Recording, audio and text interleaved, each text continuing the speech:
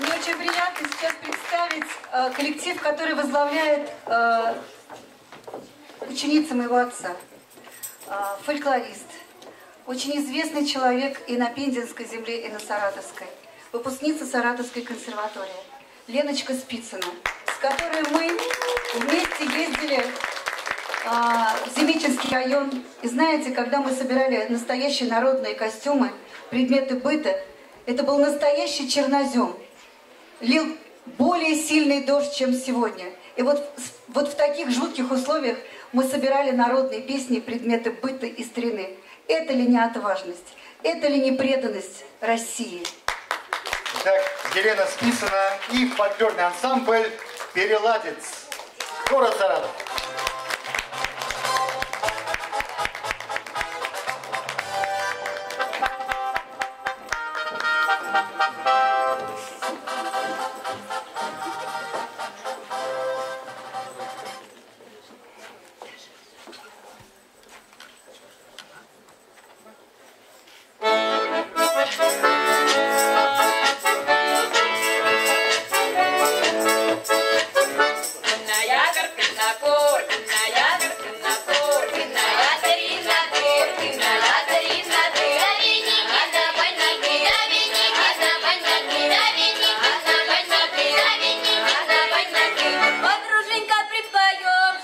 сердце на моем, моем наряде.